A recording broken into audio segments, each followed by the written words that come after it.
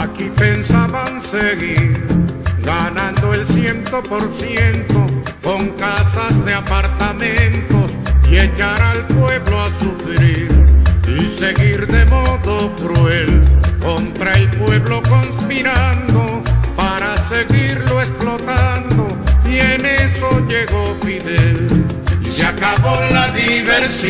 llegó el comandante y mandó a parar.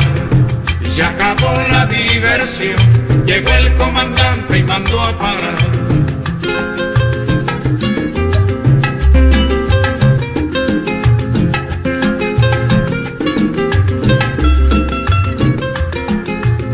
Aquí pensaban seguir, tragando y tragando tierra, sin sospechar que en la sierra se alumbraba el porvenir. El presidente de Cuba, Fulgencio Batista, con quien el régimen franquista mantiene una buena amistad, es acosado por la guerrilla dirigida por Fidel Castro desde la Sierra Maestra. Fidel Castro desembarcó hace 16 meses en la provincia de Oriente.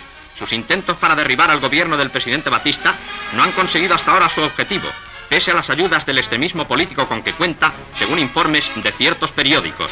Los rebeldes, hambrientos y mal armados y entregados a la lucha de guerrillas en Sierra Maestra han sufrido grandes pérdidas en los encuentros con el ejército y la policía nacionales.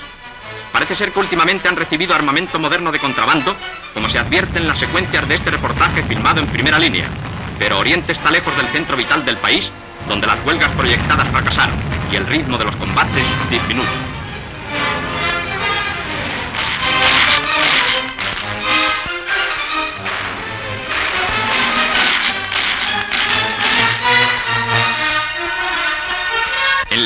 Vemos al presidente Batista en unión de su familia y en el curso de una entrevista concedida a la prensa.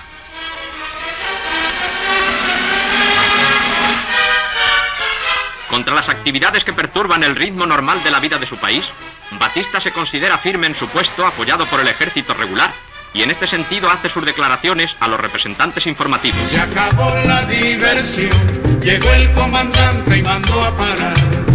Se acabó la diversión, llegó el comandante y mandó a parar.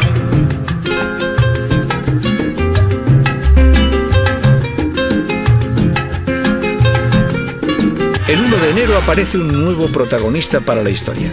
Fidel Castro toma el poder y el comunismo se implanta en Cuba. Después del triunfo en toda la isla, la capital de Cuba presencia la entrada de los seguidores de Fidel Castro, episodio final en la lucha contra el régimen de Fulgencio Batista. La fecha 26 de julio que ostentan las banderas de los combatientes triunfadores se refiere al momento de 1953 en que se inició el ataque contra el presidente derrocado. La noticia de la huida de Batista a la República Dominicana se difunde rápidamente y origina tumultos y destrucciones en varios lugares.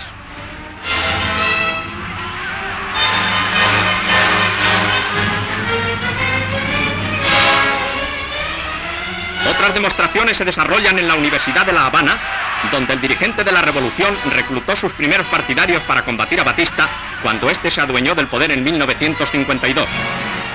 Los turistas norteamericanos de paso por la isla acuden a refugiarse a la Embajada de los Estados Unidos.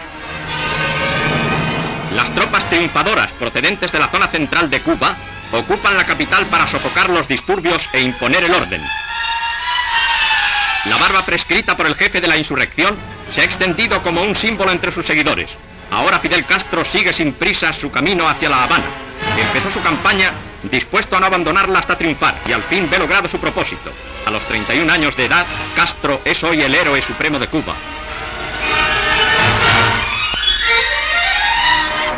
Como la Constitución de Cuba requiere que el presidente tenga por lo menos 35 años, Fidel Castro eligió provisionalmente para ese cargo a Manuel Urrutia, que durante el régimen de Batista fue un juez que desacató sus órdenes y permaneció en el exilio.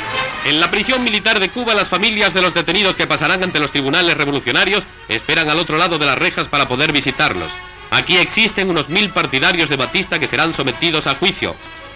17.000 personas presencian en el Palacio de los Deportes la actuación del Tribunal Revolucionario compuesto por tres jueces. Los acusados son oficiales y jefes del régimen de Batista. Este es uno de los procesados, el comandante Sosa Blanco, que cuenta 51 años de edad y que se defiende de las acusaciones diciendo que obró en cumplimiento de órdenes recibidas. El Tribunal Revolucionario no lo estima así y lo declara culpable de asesinato, tortura y robo. El comandante Sosa Blanco es condenado a muerte. Se acabó la diversión, llegó el comandante y mandó a parar.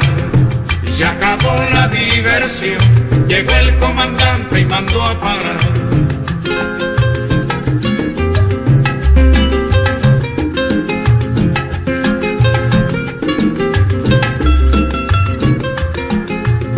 Aquí pensaban seguir, tragando y tragando tierra, sin sospechar que en la sierra se alumbraba el porvenir.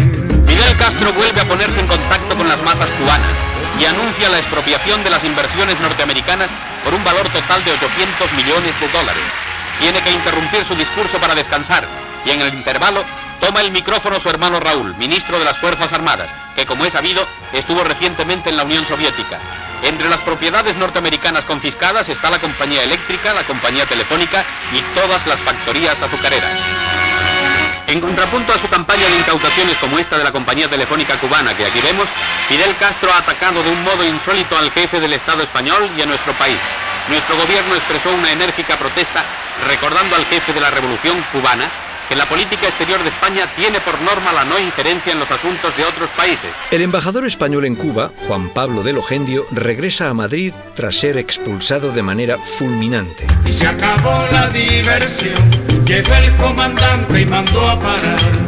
Y se acabó la diversión, llegó el comandante y mandó a parar.